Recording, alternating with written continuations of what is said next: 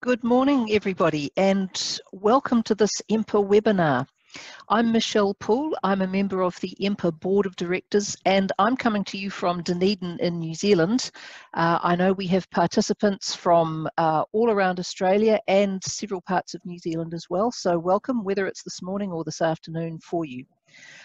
I would like to begin by acknowledging the traditional owners of the land on which we meet today we are all somewhere. So this is different for all of us, but there are traditional owners.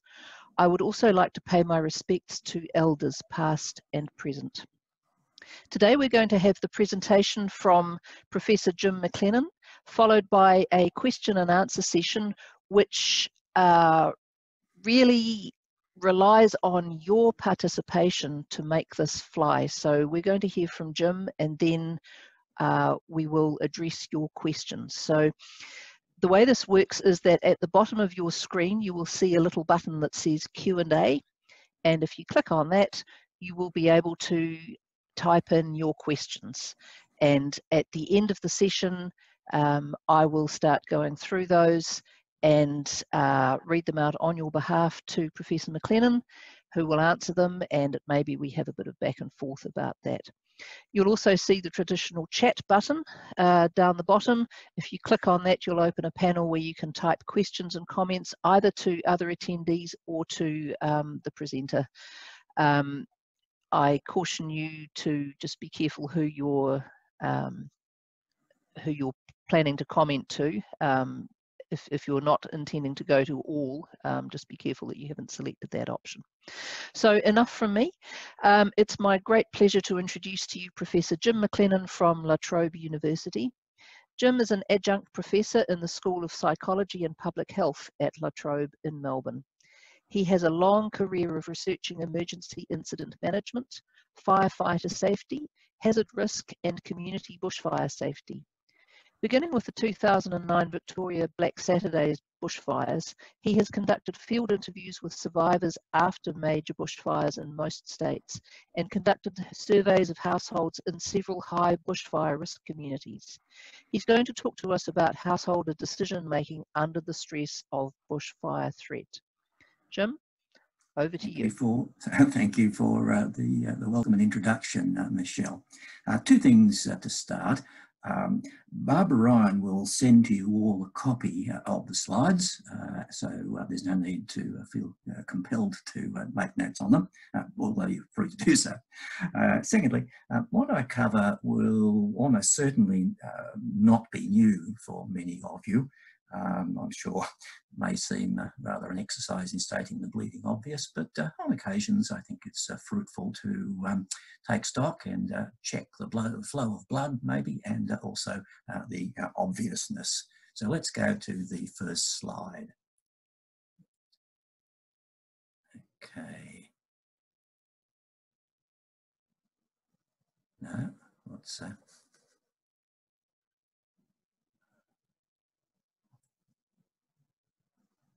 the slide uh, uh, be presented? Uh, all I'm seeing is a webinar series. Thank you for attending slide.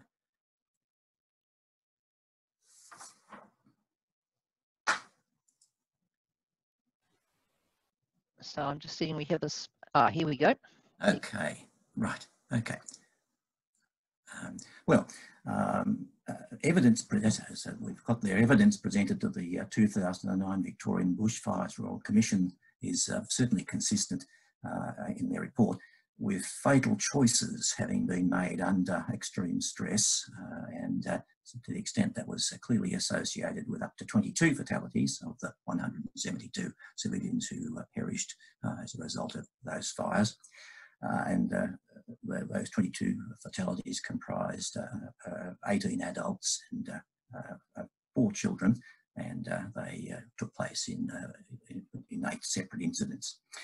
Being threatened by a bushfire forces people to make choices. Um, the choices are sometimes a matter of life and death. Um, there's often little time to think things through and the decisions mostly uh, may not be uh, able to be reversed. And all this uh, happens in an environment of embers, smoke, noise and heat. Let's go to the next slide.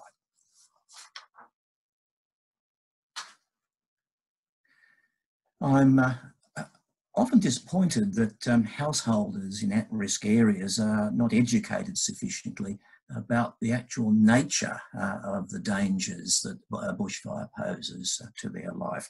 I'm also sometimes surprised to find that uh, some emergency services personnel are not uh, all that aware uh, of what actually kills civilians uh, during or following a bushfire.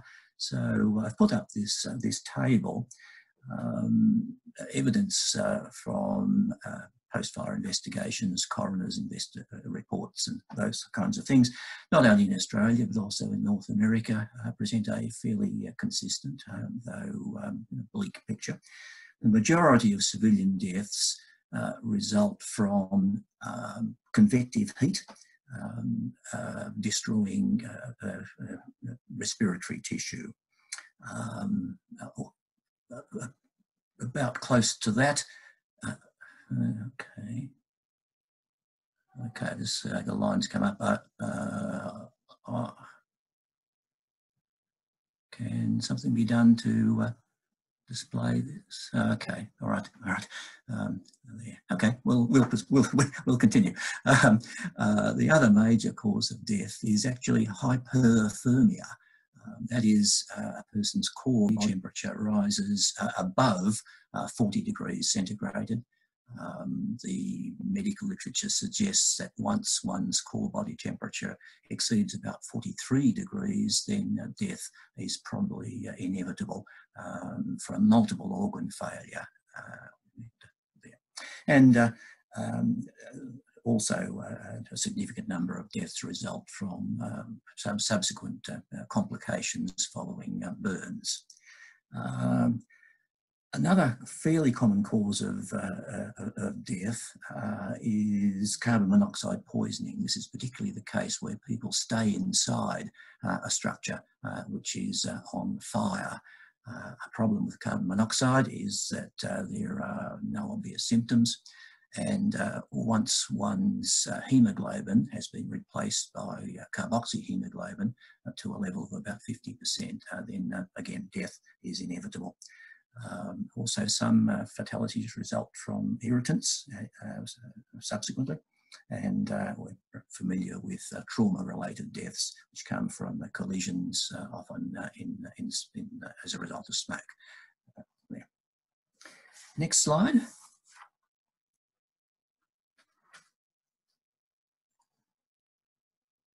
Of course, um, uh, people do survive, uh, uh, often under the most extreme circumstances uh, uh, in of a bushfire.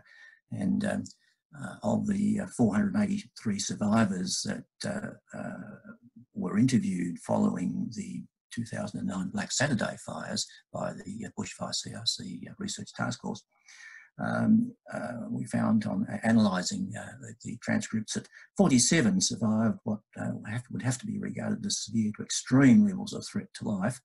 And the key to them doing so was essentially, um, in ordinary language, they kept their heads. Um, what that meant was that they downregulated or controlled or managed um, fear, anxiety, uh, and uh, instead of uh, focusing on their peril, where they focused on the immediate threats to, to life uh, while maintaining an active search for opportunities uh, to survive. Um, however, uh, having said that, uh, for some folk under bushfire threat, um, it's hard to make any kind of decisions, even when life is at stake. Next slide. Right, this uh, uh, is an extract from a transcript uh, of a uh, woman uh, who, who, my team interviewed following the 2011 Lake Clifton fire. Um, the woman reported that ringing my husband at work and I was just in a mad panic. I just said to him, I was trying to say what I had to say and I could hardly speak. I'm just saying, tell me what to do. I don't know what to do. Tell me. You can't think. There's a bushfire close, I said. It's coming and just getting closer and closer. He said, grab the dog and get out now. Um, we, we found that in a lot of interviews that there's just a kind of a paralysis of thinking, um, inability to make a decision, inability you know, to take a life-saving action. Next slide. And sometimes um, a decision is made, and um, uh, in hindsight, uh, it wasn't the best decision. This was uh, from a survivor interviewed um, uh, following uh, one of the Black Saturday fires uh, in Bendigo. he reports, well, things were exploding. It was a war zone. The house was obviously going up. I dragged the kids out in the yard. The kids had bare feet. There's a dry dam up the back, and we laid down there. No, we didn't have anything to cover us. There's no time. We all caught burns from embers and stuff. The SES got us to hospital. The kids had to be put on oxygen. When we got back, the house was okay. Just a few burns on the roof. Next slide.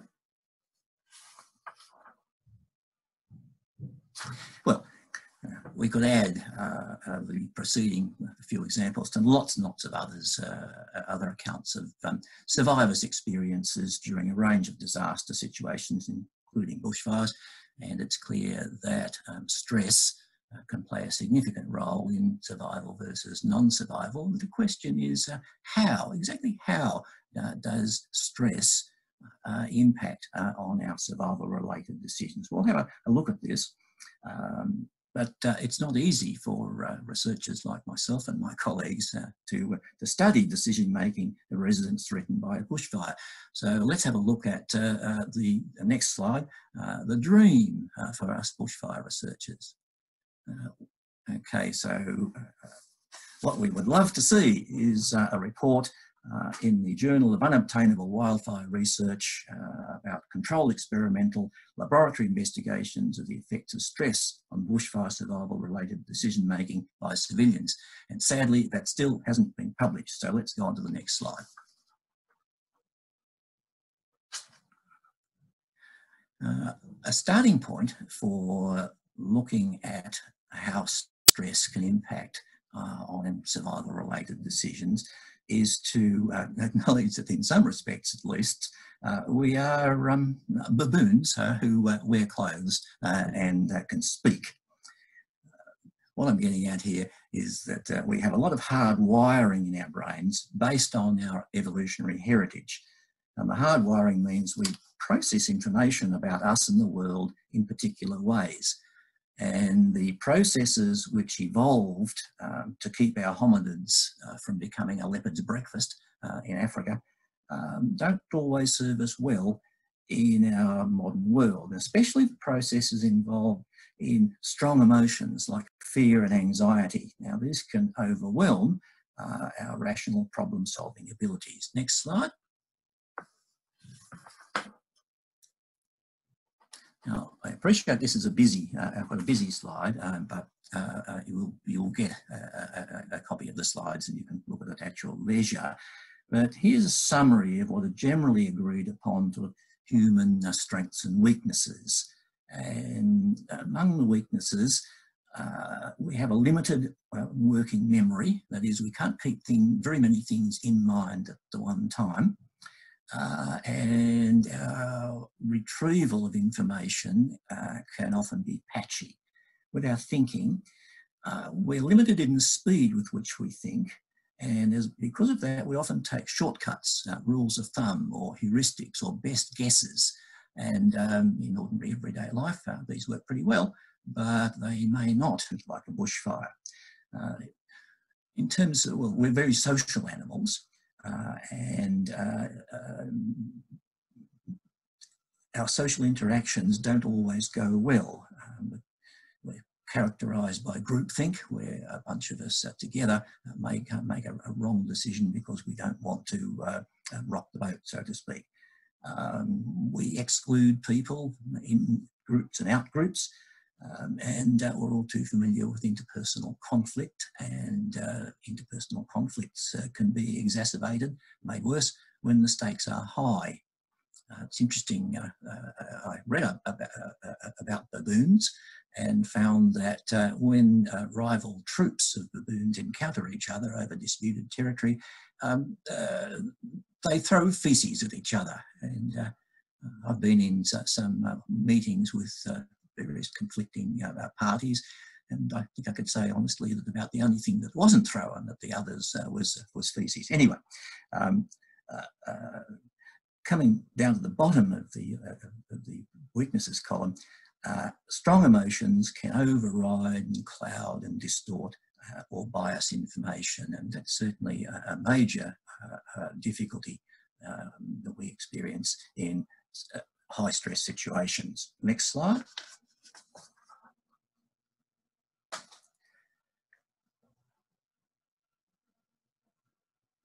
Okay, um, before taking a look at the research uh, that's relevant to bushfire survival decision making, just a couple of uh, definitions.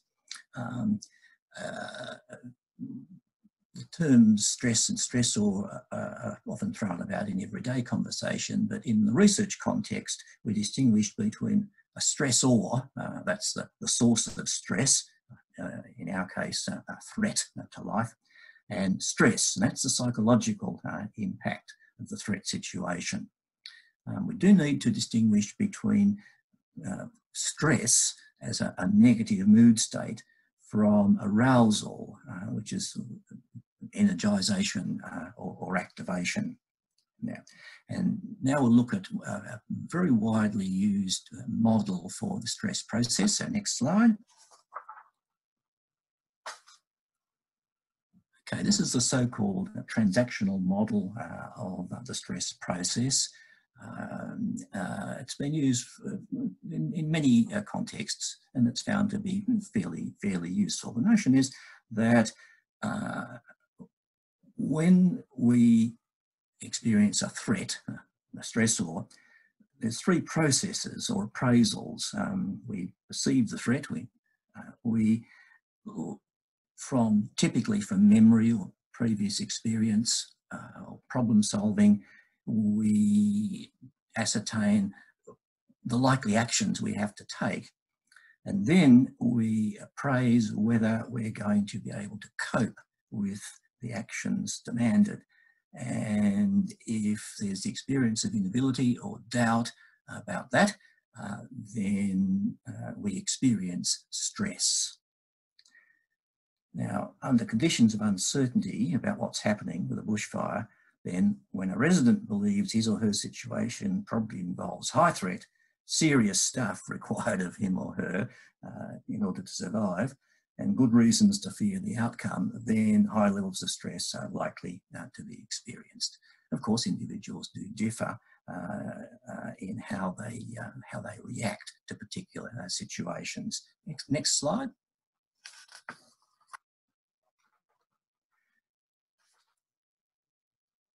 Now, a great deal of research has been conducted on um, the impact of stress uh, on human skills and abilities, and it's generally able to be sorted into uh, four, into four areas. Stress has negative effects, first of all, on perceptual motor skills performance. It has serious uh, uh effects on attention control, what we focus on can impair quite significantly memory, uh, remembering, and it has uh, serious negative impacts on reasoning, judgment, and decision making. Um, these, uh, these findings come from a range of, uh, of situations in which uh, people were exposed to uh, stressors and um, typically compared with people who were not exposed to the, the, same stressors and the uh, uh, decrement uh, or decrease or degrading of performance uh, by the stressed group uh, is then noted. I'll describe a couple of, of the, of, the, situation or the, the studies later on. Next slide. Okay, um, looking at then first at perceptual motor skills performance for five studies and overall um, skill level uh, on, the, on the tests was decreased by almost a third, 29%. Um, the actual nature of uh, the, uh, the, decrease in abilities included um, emerging threats just simply being overlooked, not, not being uh, noticed at all. Um, tasks uh, take longer, and the more complex the task was, uh, the longer it took. Um, mistakes uh, were made. And I guess the overall um, uh, uh, feature of this is clumsiness. Um, now, if we go to the next slide, there's an example. Okay, this is from uh, a person interviewed again after the Black Saturday fires. I suddenly noticed that the ash was starting to drop around. So I came over here to get my car and backed out and swung around here to hook up the fire trailer. I looked up as I backed the trailer and I noticed a line of flame at the back of the paddock shit. So I started to try and hook the trailer onto the car and I was having big trouble trying to get it in. I just couldn't seem to get it lined up to lock. I had to give up on the trailer and just leave. Next slide.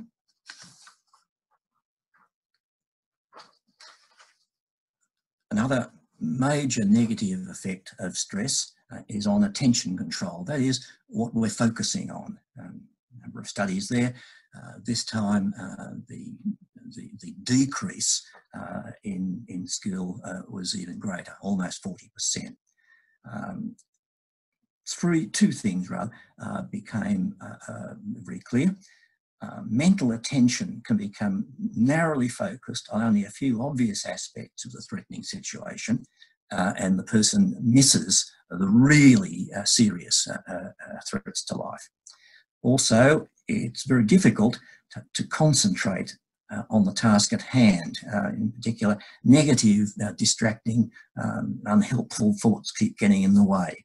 If we go to the next slide, there's an example.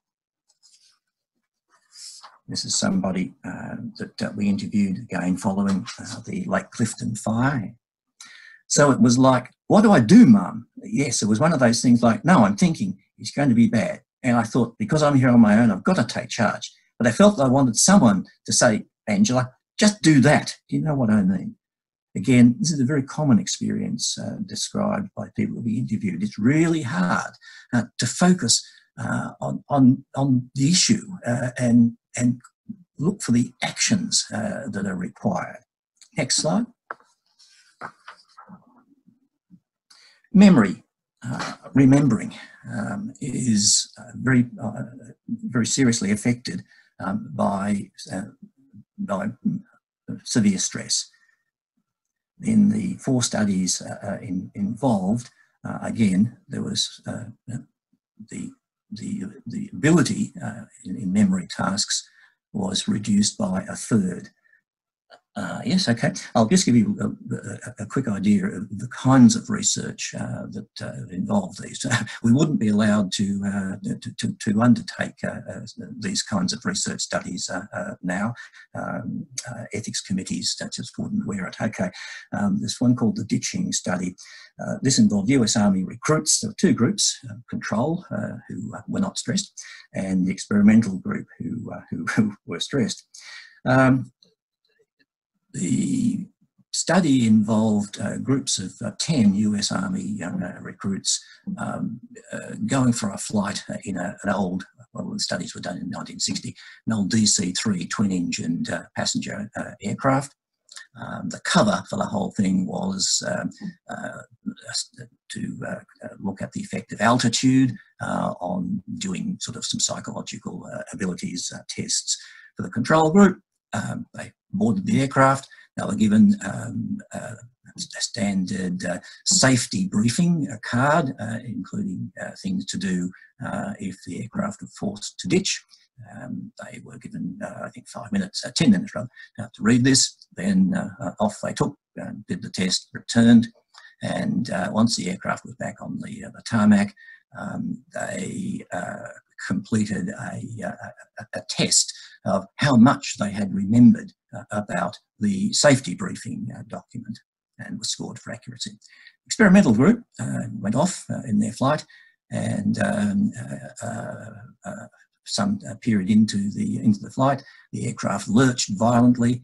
one of the engines was shut down um, the pilot uh, announced that uh, they were unable to land because of a problem with the undercarriage and they were going to have to ditch in the uh, nearby ocean. And the uh, uh, soldiers were informed um, that they now had to uh, complete the test of remembering the content of the briefing card because this would probably help them to survive the ditching. Uh, not surprisingly, um, the, uh, uh the amount uh, remembered by the uh, stressed group who were facing ditching uh, was appreciably poorer uh, than the uh, scores by the control group, notwithstanding the fact that the, they had been told that, that accurately recalling the material would help them to survive. So that's that's a, that's a, sampler, if you like, of, of, of, of what some of the studies in, involved. Um, but uh, the actual effects then more generally, uh, it's very difficult to keep important things in mind uh, that you have to do.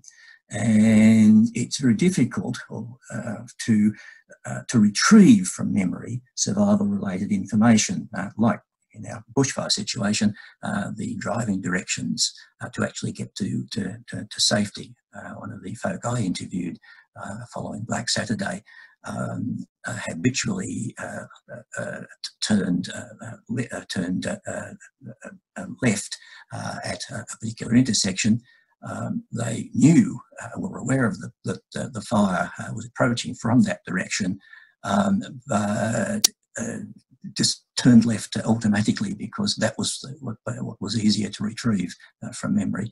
Uh, more difficult uh, to retrieve the directions uh, uh, that they would have to take with a right turn uh, to go to safety. Next slide.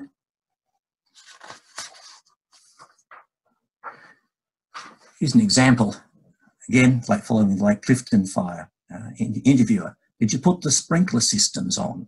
Interviewee, no, I didn't actually. I was on the mobile phone all the time. I got to the car, dropped the phone in the car, and I just went. Later, I thought, shit, I didn't do that and we lost the house. Next slide.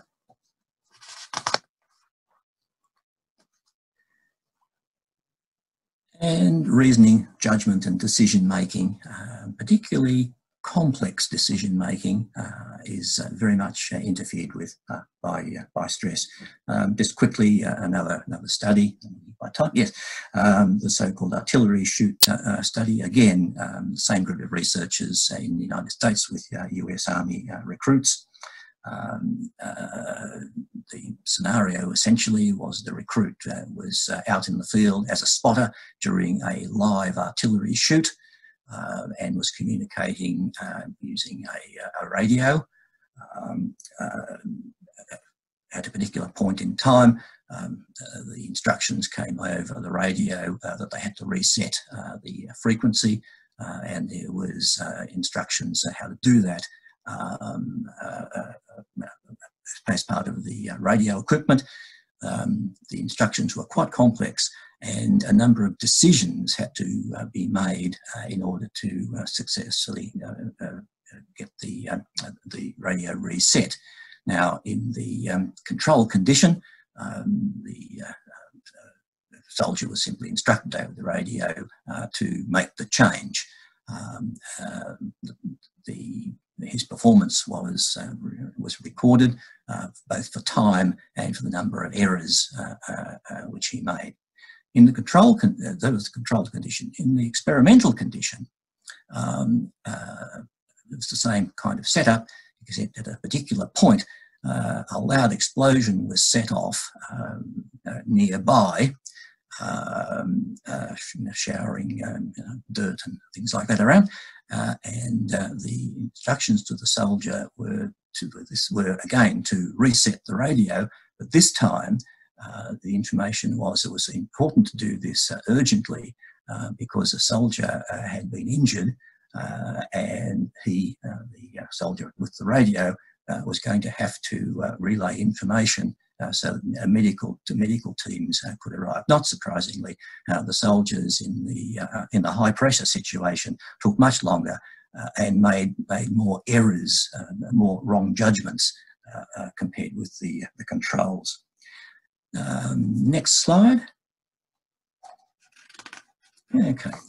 Uh, this is again somebody we interviewed after the Black Saturday fires.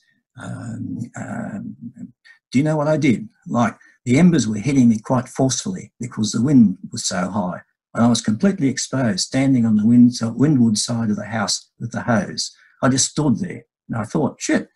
All of a sudden, you know, the heat of the fire, I couldn't breathe, and smoke was everywhere. I put the hose over my head because it was so hot and ducked around the back. later I thought, God, that was really dumb. Next slide. Okay, that's a coverage of the kinds of research uh, that's been conducted over the years uh, to, to, to, study uh, the actual uh, effects of, uh, of, of, high stress uh, on important aspects of our thinking um, there. What are the implications? Well, again, I guess there's a, not a lot that, that will be new. It's important to raise awareness. And I think perhaps what we fail to do uh, in our education of uh, householders and residents is to, to inform them about the actual nature of the threats to life that um, uh, bushfires pose, um, and also um, the need to uh, make clear that they are likely to experience uh, a lot of anxiety, uh, high stress, uh, and that this has to uh, be expected and taken into account. Um, it really is important for people to, before the onset of a threat, have a plan. It's extraordinarily difficult under high stress to come up um, uh, cold, as it were, uh, with a response um, that hasn't been sort of thought about before. So a plan really is important. Um, practice and rehearsal uh, certainly uh, is valuable, although it's extremely difficult.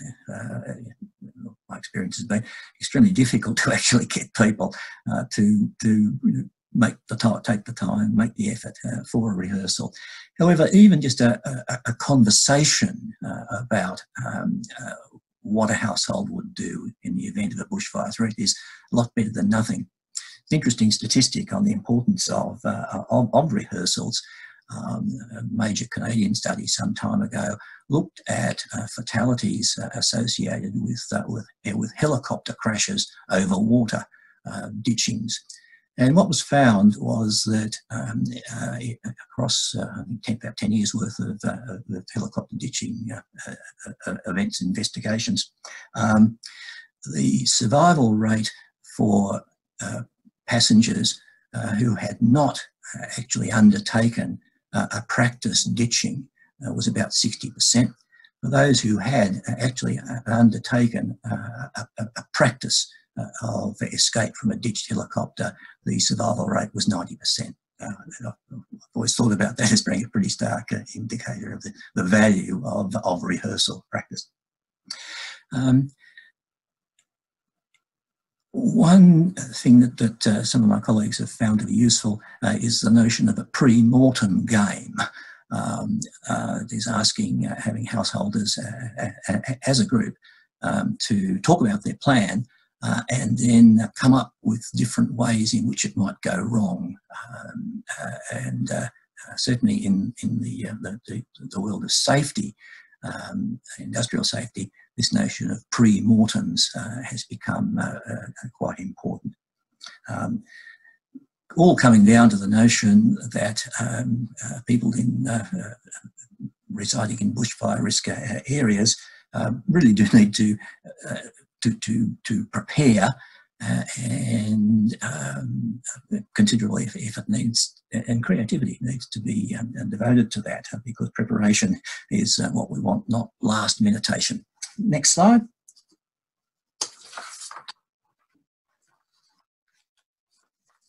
In terms of incident management, um, it's uh, really important to just keep the stressed civilian uh, in mind. Um, um, factor stressed civilian uh, into planning and training exercises and maintain a stressed civilian focus, especially in relation to evacuations. Um, uh, the um, uh, capacity for uh, people to make the wrong decision uh, should always be, uh, be borne in mind. Next slide. And finally, in terms of uh, warnings, um, uh, this is certainly not new, I know, but uh, it's important, uh, I think, to always bear it in mind. The importance of timeliness and uh, being very aware of this latency factor. Uh, people do not immediately begin to leave when they're, they're left with a, a, a warning. Um, I've interviewed a number of people um, uh, who uh, were, were, sort of overtaken uh, by events. it took them so long to get, get themselves actually organised um, that um, by the time they were ready to leave, it wasn't it wasn't possible. Um, the escape routes had been cut off, and they found themselves in a situation of having to um, uh, defend uh, an, uh, an, inadequately prepared uh, house. Um, and uh, it was a near run thing uh, for them. Um, again, messages have to be short, um, very clear, and without ambiguity uh, because uh, of the effects uh, of stress that I've already mentioned on our thinking, particularly our ability to to focus, to to attend, and to keep things in mind. And I think we go to the final slide. Yeah, so there we go. Um, if there are questions or comments, I'll do my best to respond, and I can always be contacted by email uh, uh, at uh, uh at La Trobe uh, uh, with the address there. So if there are questions or comments, um, um Uh, Michelle, I'm sure will uh, will organise those, and I'll do my best to um, respond.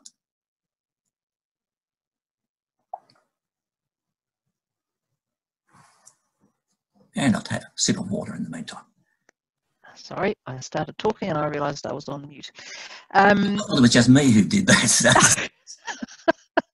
Even through all the COVID experience, we're, we're still doing that. So, look, I can see there are a couple of questions that have started to come in. What I'd like to do is give people an opportunity yeah. to just process what they've heard and um, and start putting their questions through. So, I have one that I'm just going to give to to kick off.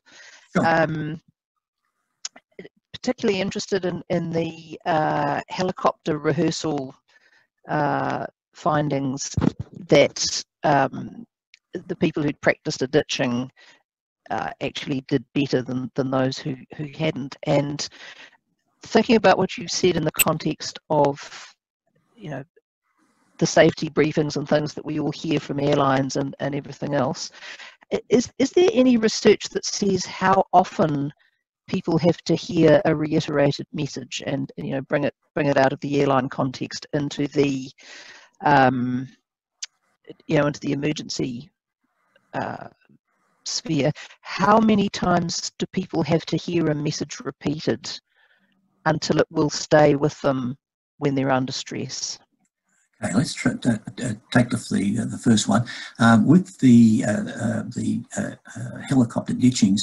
The the the practice is the standard practice is very real. Essentially, it's um, a helicopter hull um, which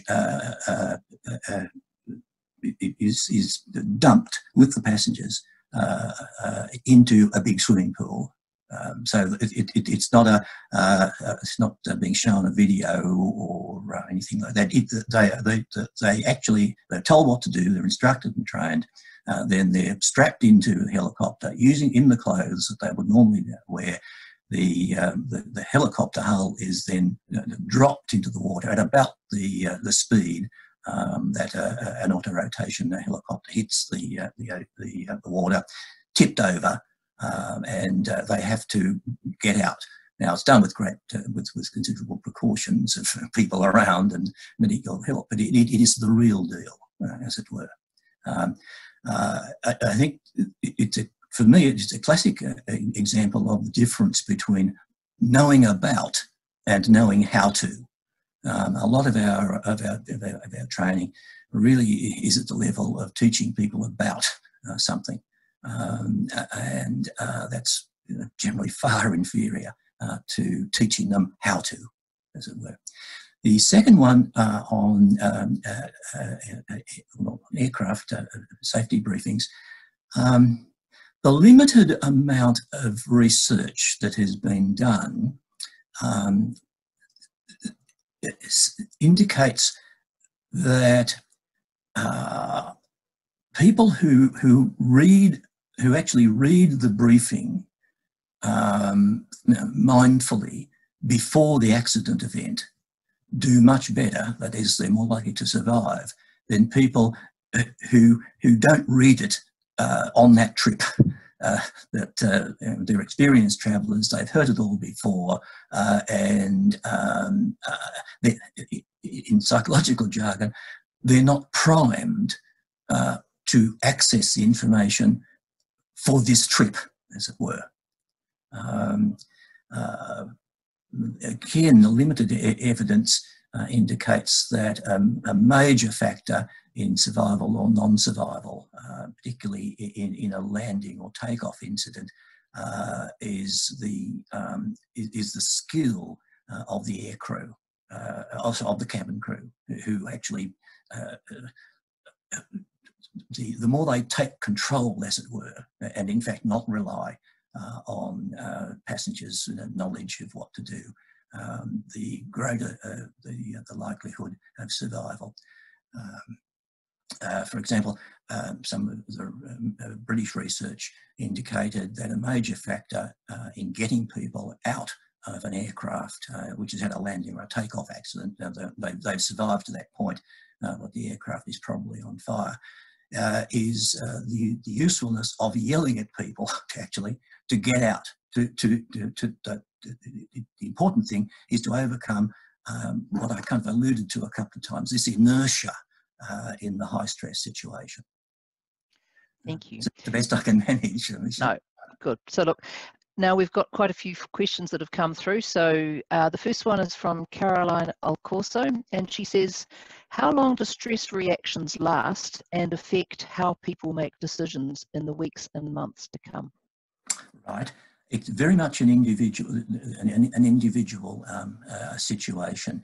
One of the things um, that, that's, that one of the very few things that, that that's absolutely clear uh, is a person is more likely to uh, have a, a, a significant uh, enduring reaction, uh, the, the, the, greater was their, their threat to life. Uh, yeah, that, that's a general, general uh, relationship. Um, beyond that, um, we really don't know a great deal about vulnerability um, to post-traumatic stress disorder um, say that uh, people who um, have been experiencing mental health, health issues are more vulnerable. Um, but beyond that, um, uh, it, it, it's still an ongoing uh, uh area. Um, there's fa fairly well uh, uh, established research supporting the notion that, um, oh, not the notion, that's silly, the principle that, um, that psychological first aid quickly uh, is very beneficial. It doesn't have to be uh, uh, anything very dramatic, just the opportunity to allow the person to talk about uh, their experiences um, and uh, to then sort of ground themselves in the fact that they, they have survived. Uh, that that's that that's that's very helpful, but um, for people who've, who, who've had really traumatic experiences of of being injured or being not surviving themselves or or others. Um, uh, this this this this this can affect them for a considerable amount of time. I think that, that what's very clear is that for people who, who have really survived a life-threatening experience, they do not get over it that, in the sense of life goes on as if it never happened. Um, it's part of their history. Um, and um, it, it, has to be incorporated uh, into their own sort of life story uh, as something that uh, that they experienced uh, there. So the notion of getting over it is, is not a helpful one. Thank you, Jim. Um, next question is from um, John Carr, and he says, uh, "Do you have any thoughts about the number of calls to action in an emergency warning?" Let me think about that that uh, uh, for for a moment. it, it mm,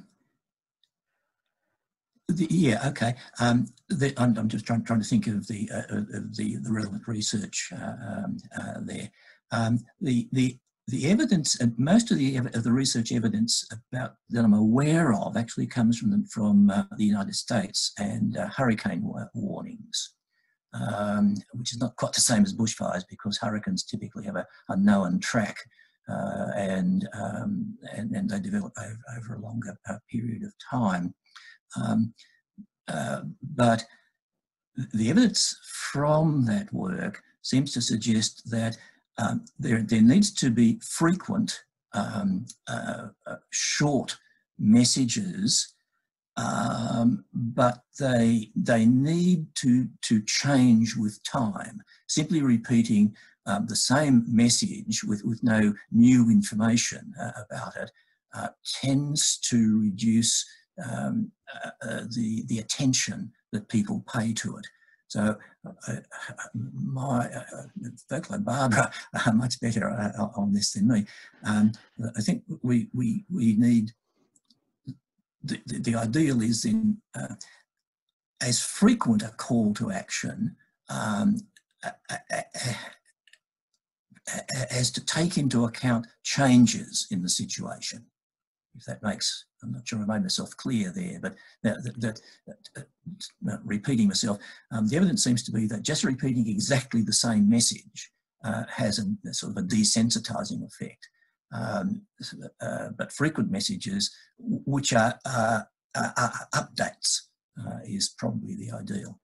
So, is there anything um, that that says uh, saying leave now remember to turn the power off and you know check you've got enough petrol in your car those three things that's fine. But if it's leave now turn the power off check the petrol take your pets check on your grandmother and and do something else that's a few too many for yes, one uh, warning I, I think I think the, I think the the, the well it, uh, the, the, the the nature and purpose of a message is of course quite time, uh, time dependent um, the, the, the, the, the, content of, uh, uh, of, say, an early warning message um, uh, where the threat is not imminent, uh, under a situation like that, uh, you can uh, put more things in, as it were. But as the impact of the, of the threat event gets closer and closer, um, stress levels uh, among uh, householders are going to be increasing. And um, I didn't go into the technical details, but one of the one of the what what happens with anxiety is that the capacity of our working memory um, drops dramatically. In other words, uh, as we get anxious, we are able to keep less and less in mind um, there. Um, sure. that, that's one of the uh, the reasons uh, why checklists uh, are so in, uh, are so uh, useful. Um, uh, a long time ago, when I was first introduced to, to, to these these sorts of ideas, it was put to me that in the old days um, of of, air, of, of aircraft. Um, one of the, one of the first demonstrably useful checklists um, was for engine fire. This, this before jets uh, with internal combustion uh, engines, uh, engine fires were quite frequent. And um, uh, um, the first checklist uh, had three things uh, on it um, in, in order because pilots in, in engine fire situations often got things wrong order. The, the checklist um, said switch off petrol, switch on extinguisher, switch off power. Um, uh, because pilots uh, for, in, in, in, the emergency situation um, did it in the wrong order. Uh, no point in putting a, a, fire extinguisher on if the petrol is still flowing. Um, don't switch off power because then you have no control uh, to switch on to, to the, the, uh, the, um, uh, the extinguisher. Um, so just three things. Mm-hmm. But, but those three things were uh, getting them get, getting them in the right order uh, was a problem uh, under high anxiety. Um, uh, our, our, working memory capacity uh, just drops dramatically. So, oh, sorry, I'm repeating. No, thank you. We can't keep very much in mind when we get anxious. Right. Thank you. So um, this is this is uh, something of a comment rather than a question, but it comes from Ian Mannix, um, oh. formerly of ABC, yeah, uh, and and coming in from Myanmar today. Um, he says, Jim, good presentation, thanks. You suggest brevity, but to effectively change a person's behaviour, they need validation, localization, personalization, understanding, and belief. So the idea of brevity is somewhat erroneous, isn't it? Uh, I take uh, Ian, Ian's uh, point, and he's a person of great experience and, and, and, and knowledge, especially in the um, uh, in, in the, the, the warning area. Um, I didn't contextualise uh, well uh, my answer. Um, the brevity bit is is in the in, the heat of the moment stuff. when when the the time available to make uh, life-saving decisions uh, is, is, is minimal. Um, uh, what I'm getting at is for, for people who, who, who are about to be impacted uh, by a fire event, um, the information uh, that, they, that they will be able to, to sort of apprehend and take in is very limited. So it, uh, it should only, it, it, needs to be only those things which are most relevant to, to that dire situation. Um, certainly what Ian is getting at is, is the, the early warning stage uh, and the pre-event uh, uh, stage of, of, education and instruction, certainly uh, all the, uh, the things that he's, he, he's listed there are terribly important, particularly the, the localisation uh, and the personalisation. If I just make, make a comment, um, one of the um, first things that came from the bushfire CRC's um, task force with, with the 2013 uh, fires in New South Wales um, was the change uh, in how fires are identified. Um, uh, with Black, at Black Saturday and for some time after, a fire was identified by its starting point.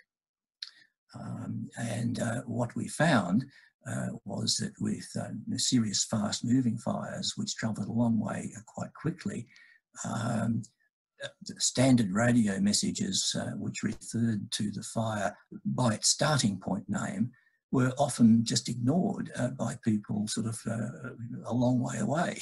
Um, so one of the, the first changes made was to alter that to the fire which started at is now there. Um, uh, and uh, uh, I understand from um, New South Wales Rural Fire Service, who were among the first to make that, that, that change, that that has improved things. So this is the notion of, of, of relevance. Um, uh, and uh, I, I, think it, it's a good example uh, of how what makes sense to to operational folk, um, the name of the fire, um, then uh, is, is not, not helpful uh, to, to, to householders. Yep. Thank you. And I just note while I was looking for the next question, um, Ian has has made the time to type, type a comment while he's been listening, and he says, "Thanks for your answer. We really need to explore further your statement that early warnings, which I, that's Ian, call education warnings, are the way to change people's behaviour. I'd all, urge all emergency agency warning disseminators to examine how to do that." So, I think mm. there's a you know, there's a there's a further discussion to be had on that. So look, I'm mindful of the time. Um, we've we've got at least five minutes left before we're scheduled to come to an end, and I dare say some of our attendees at least will have to go and do something else. Um, question from Sean Gibbons. And Sean asks, would you have any comment about people who need to leave with animals or not wanting to leave with animals? Is the stress heightened? Oh, in, in, indeed. This, fortunately, in, in, some respects, there's been quite a bit of research uh, uh, conducted um, uh, uh recently about uh, issues of, of evacuation. Um, uh, there, there were certain instances in the Canberra fires and also Black Saturday of people perishing because they were endeavouring to, to, to, rescue animals. So it's a very serious, serious issue. Um, the only thing I can sensibly say uh, is, is well, I, I, stressed beforehand the notion of a plan, uh, thinking through what if, uh, and that's even more uh, important uh, if there are um, uh, family members with special needs, elderly, disabled, and, and, even more so with animals.